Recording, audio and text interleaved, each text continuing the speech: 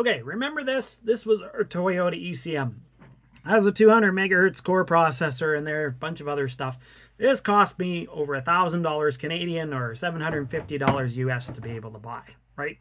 And you know, while it may serve its purpose, it's got antiquated chips in it. It's really expensive, and you shouldn't have to do that. So the goal of our EVOS project, and by the way, the goal isn't to build an EV. The goal is to build a control platform that the modern do-it-yourselfer can use and not have to spend oodles amount of money to be able to do it. Okay.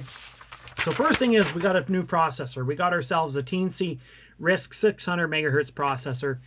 Uh, if you are a member on our Buy Me a Coffee website, uh, it's going to be posted there for people who are in the um, early adopter, or sorry, the early fabricator uh, membership level. And as you can see, this processor has quite a bit performance difference. I know that's kind of a real chintzy drawing, but uh, to give you an idea, it's many times more powerful than the the process, the brains of that Toyota processor, right?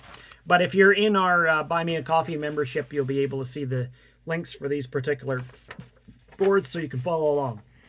Uh, as well, we're going to use this ESP32 S3 board. Now, its sole purpose is just to be able to build us a uh, display module that we can put out on a display. Now, rather than putting a big expensive touchscreen in the car right now, we're just going to use like a tablet or a PC, something we already have to be the display. So this will create a, a, web server that will allow us to show have all the display metrics on it, and then we can just connect by either Wi-Fi or Bluetooth to be able to pull those metrics up. So, and then last but not least, um, we've chosen some CAN modules. Now, I don't know if you guys know what CAN modules are, but they are um, the way that a lot of these uh, automotive systems communicate. And you need modules that are able to understand that to make that work. So we bought these two modules. Intention is one of those modules will be used to talk to our existing vehicles bus, and then the other one will be used to talk to our new EREV range extended hybrid um, system. So our charging module, our batteries, our electric motor, that type of stuff. So basically connecting the old to the new. So like I said, if you want to follow along, the bill of materials are posted on our Buy Me a Coffee website.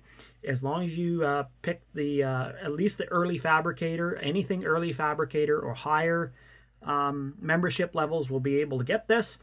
And uh, like I said, if nothing else, uh, subscribe and watch the rest of the journey. So we'll share the the steps as we go along. The, the parts are in transit, so hopefully we'll be able to get this going soon. So see you in the next one.